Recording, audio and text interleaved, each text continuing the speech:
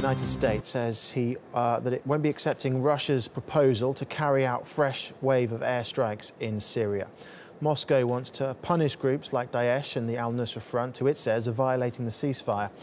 The Russian defense minister said the strikes would also have been aimed at convoys which carry weapons into Syria from Turkey. Let's speak now to uh, Ahmed Alburai. He's a lecturer at Istanbul Aydin University and uh, joins us now. Thank you very much uh, for you. your time. Good evening. Um, Good evening. Why would the United States be unwilling to cooperate with Russia in tackling Daesh, do you think?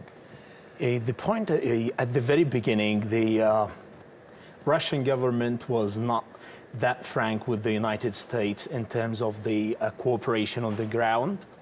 Uh, they started unilaterally the uh, offensive against the rebels in the um, in Syria, and they didn't coordinate. And now they came and they unilaterally declared from their own side that they're going to attack uh, Jabhat al-Nusra and other rebels on the ground. So the United States doesn't feel that there is a kind of coordination. They should have consulted them before they take such a decision. But, but has that situation on the ground now changed? Would it not be beneficial for Washington to uh, cooperate here with Russia and tackle al-Nusra and Daesh? Uh, the point here is the Russians and the Americans, they have different agendas in the quagmire in Syria.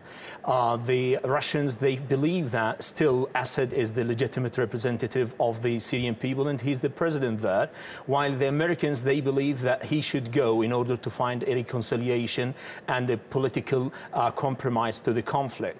That's why they don't have the same, they are not reading from the same page on the Syrian conflict. That's why I believe that they're not going to uh, reach this kind of joint cooperation on the ground in terms of the uh, suggested or proposed operations. As time goes on, how much loyalty do you think Russia has to the Assad regime. They say that they, they're protecting Syria's sovereignty and that they aren't necessarily uh, supporting an individual here in, in Assad. How, how do you assess that relationship as time progresses? Assad for Russian is a very important asset. No one can deny this fact. But we cannot also say that the Russians are not pragmatic when they believe that Assad must go and they have an international consensus on that and they believe their interests are preserved in Syria. I believe in one way or another they're going to sacrifice Assad. But on the short term, this is not not a visible, in my opinion. Mm. So where does all of this, I mean, it looks very much as if Russia is going to escalate their campaign in, in Syria or parts of Syria next week. Where does all this leave the peace process?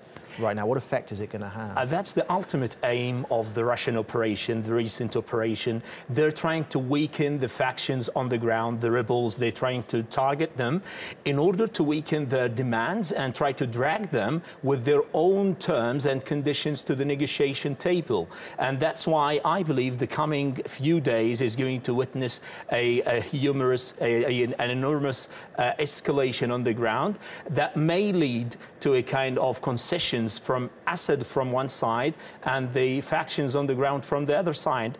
But is this going to succeed or not? This depends on the reaction of the other regional powers, including um, the United States-led coalition. Okay, Ahmed, thank you very much uh, for thank your time. You. Thank you for coming in this evening.